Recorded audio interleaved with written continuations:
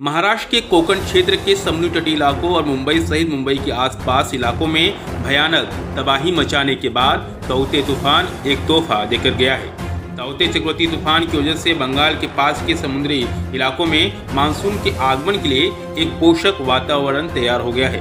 इस वजह से इस बार मानसून हर बार की अपेक्षा भारत में जल्दी दाखिल होगा। मौसम विभाग ने यह अंदाज़ा जताया है कि मौसम विभाग के मुताबिक आने वाले तीन से चार दिनों में मानसून अंडमान में दाखिल होगा।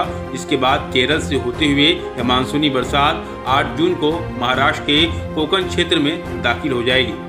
मानसून के पूर्व निर्धारित तारीख एक जून है और इसके 31 मई तक केरल में पहुँचने का अनुमान जताया गया था। लेकिन बदली हुई तारीख के मुताबिक अंडमान के समुद्री इलाकों से यह 22 मई को दाखिल क्योंकि ताउते चक्रवर्ती तूफ़ान की वजह से फ़िलहाल अरब सागर में हवा का बहाव तेज हो गया है। बीस मई के आसपास बंगाल के समुद्री इलाकों में हवा का बहाव और तेज होने का अनुमान है।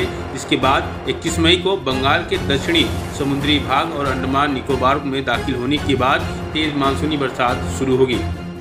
स्काईमेट के अनुसार के मुताबिक जून, जुलाई, अगस्त, सितंबर ये तीन, चार महीनों में बरसात का बी एम मिमी की तुलना में 2021 में 103 प्रतिशत बरसात होने का अनुमान है। इस अनुमान से 5 प्रतिशत तक कम या ज़्यादा बरसात हो सकता है। स्काईमेट का अंदाज़ा है कि उत्तर भारत और उत्तर पूर्वी भारत के कुछ भागों में पूरे सीज़न में जोरदार बारिश हो सकती है।